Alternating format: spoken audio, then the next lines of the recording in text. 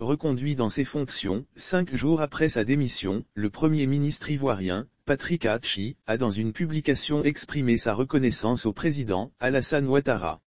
Le Premier ministre Patrick Hachi a été reconduit dans ses fonctions, mardi 19 avril, indique un communiqué signé du secrétaire général de la présidence, Abdourahmane Sissé. Aussitôt nommé, le natif de la Mai a exprimé ses reconnaissances au chef de l'État ivoirien, Alassane Ouattara pour cette confiance renouvelée. Reconnaissance au président Ouattara, reconduit dans mes fonctions de Premier ministre par le président de la République, Alassane Ouattara, je le remercie avec humilité et responsabilité pour cette confiance renouvelée qui m'honore et m'oblige. Elle me permet de continuer à servir un grand président, un grand peuple et un grand pays. A posté le chef du gouvernement ivoirien, peu après sa nomination. Je connais la force des attentes des Ivoiriennes et des Ivoiriens, leur soif d'une nation toujours plus prospère et solidaire, suivant la vision 2030 du chef de l'État, je connais la force des attentes des Ivoiriennes et des Ivoiriens, leur soif d'une nation toujours plus prospère et solidaire, suivant la vision 2030 du chef de l'État, concrétisée par notre plan national de développement 2021 à 2025.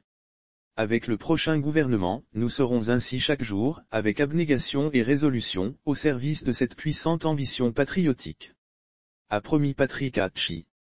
Lors de sa démission ainsi que celle du gouvernement, le mercredi 13 avril dernier, Patrick Hachi avait réaffirmé sa disponibilité à continuer de travailler auprès du président Ouattara et de servir la Côte d'Ivoire. Il a ainsi désormais l'occasion de poursuivre sa mission à la tête du gouvernement ivoirien que le président de la République souhaite resserrer, d'une trentaine de membres.